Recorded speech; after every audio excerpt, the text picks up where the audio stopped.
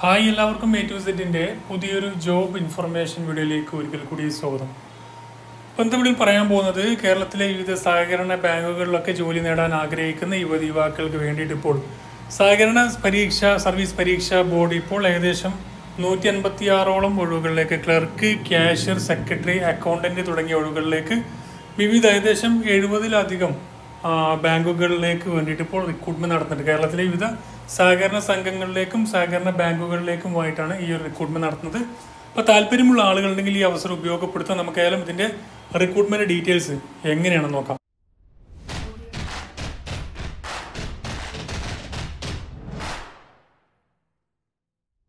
ഇപ്പൊ സഹകരണ ബാങ്കുകളിൽ അടുത്തുള്ള സഹകരണ ബാങ്കുകളിൽ ക്ലർക്ക് ക്യാഷർ അതുപോലെ തന്നെ സെക്രട്ടറി അക്കൗണ്ടന്റ് തുടങ്ങിയ ഒഴിവുകളിലേക്ക് ഡി ഡാറ്റ എൻട്രി ഓപ്പറേറ്റർ തുടങ്ങിയ ഒഴിവുകളിലേക്ക് അല്ലെങ്കിൽ ആ ജോലി നേടാൻ ആഗ്രഹിക്കുന്ന യുവതി യുവാക്കൾക്ക് വേണ്ടിയിട്ട് ഇപ്പോൾ സഹകരണ പരീക്ഷ സഹകരണ സർവീസ് പരീക്ഷാ ബോർഡ്.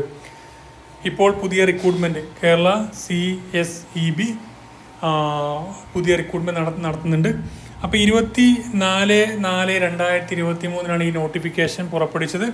ഇരുപത്തിമൂന്ന് അഞ്ച് രണ്ടായിരത്തി ഇരുപത്തി മൂന്ന് വരെ നിങ്ങൾക്ക് തപാൽ മുഖേന അപേക്ഷ സമർപ്പിക്കാൻ കഴിയുന്നതാണ് അപ്പോൾ ഇതിലേക്ക് വിവിധ ക്വാളിഫിക്കേഷൻ ഉള്ളവർക്ക് ഡിഗ്രി ഉള്ളവർക്കും അതുപോലെ തന്നെ പ്ലസ് ടു ഉള്ളവർക്കൊക്കെ അപ്ലൈ ചെയ്യാൻ പറ്റുന്ന വ്യത്യസ്തമായിട്ടുള്ള ഒഴിവുകളുണ്ട്.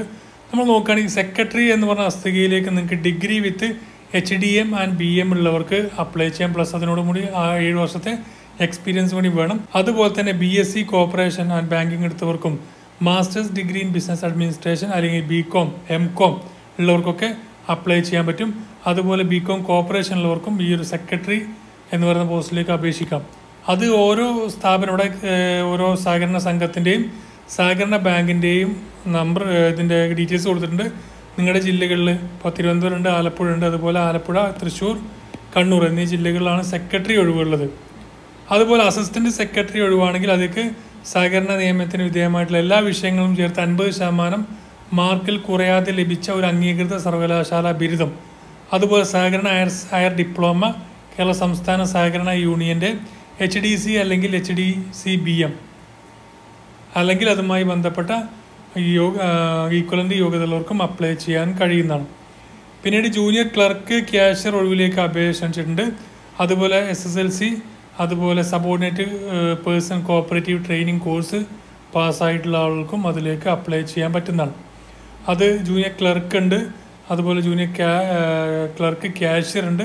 അങ്ങനെ ഓരോ ബാങ്കിന്റെയും അഡ്രസ്സ് കൊടുത്തിട്ടുണ്ട് നിങ്ങൾ ഏത് ബാങ്കിലേക്കാണ് അപേക്ഷിക്കേണ്ടത്? ആ ഒരു ബാങ്കിലേക്ക് തീർച്ചയായും നിങ്ങൾക്ക് ഒന്നിലധികം ബാങ്കുകളിലേക്ക് അപേക്ഷിക്കാം. അപേക്ഷാ ഫീസ് അതിനനുസരിച്ച് കൂടി അൻപത് രൂപ എക്സ്ട്രാ കൊടുക്കേണ്ടി വരും. പിന്നെ സിസ്റ്റം അഡ്മിനിസ്ട്രേറ്റർ ഒഴിവുണ്ട്. അതിലേക്ക് first class B tech degree ഉള്ളവർക്ക് അതിലേക്ക് അപ്ലൈ ചെയ്യാൻ കഴിയുന്നതാണ്.